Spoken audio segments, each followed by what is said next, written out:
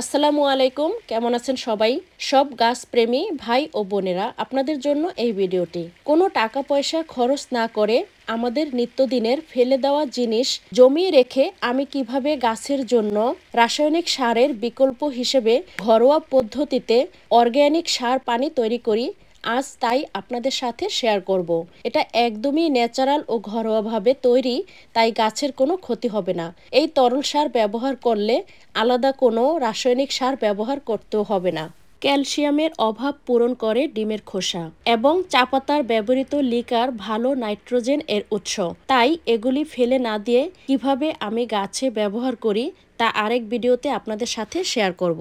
গাছের নাইট্রোজেনের ঘাটতি পূরণ করতে চাল বা ডাল ধোয়া পানি রেখে দিন। তাছাড়াও ভাতের মার ফেলে না দিয়ে ঠান্ডা করে পানিতে মিশিয়ে পাতলা করে গাছের গোড়ায় দিতে পারেন। পটাশিয়ামের ভালো উৎস হচ্ছে কলার খোসা এবং পেঁয়াজের খোসা। তাই এগুলি ফেলে না দিয়ে তিন থেকে সাত দিন ভিজিয়ে রেখে দিন। এছাড়াও শাক সবজির উচ্ছিষ্ট অংশ নির্দিষ্ট একটি পাত্রে পানিসহ জমিয়ে রেখে দিন সাত দিন। পাত্রটি খুব ভালোভাবে ঢাকনা দিয়ে ঢেকে একটি ছায়াযুক্ত জায়গায় রেখে দিন। তবে খেয়াল রাখতে হবে, যেখানে অনেক বেশি রৌদ্র পড়ে, সেখানে কিন্তু এই পাত্রটি রাখা যাবে না। একটি ছায়াযুক্ত জায়গায় রেখে দিতে হবে। সাত দিন পরে তরল সার তৈরি করে এভাবে গাছে ব্যবহার করলে আলাদা কোনো রাসায়নিক সার ব্যবহার করতে হবে না। কলার খোসা, পেঁয়াজের খোসা এবং শাকসবজির উচ্ছিষ্ট অংশ পানিতে ভেজানো পানি কিন্তু সরাসরি গাছে ব্যবহার করা যাবে না।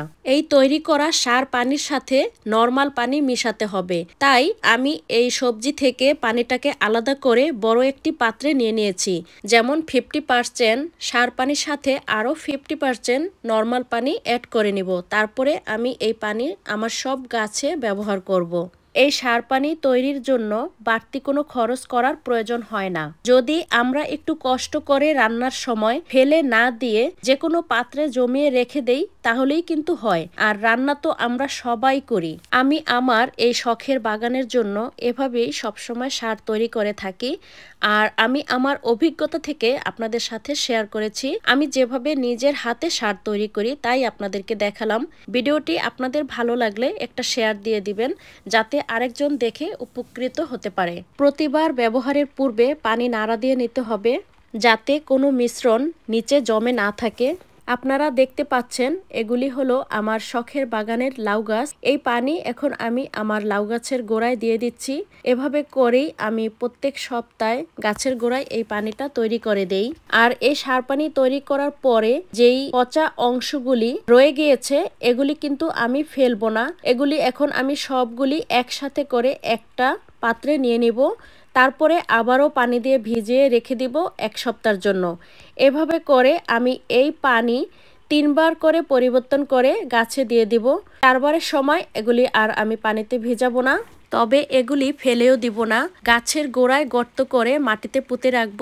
এগুলিও গাছকে সার দিবে। ভালো থাকবেন সবাই। আল্লাহ হাফেজ।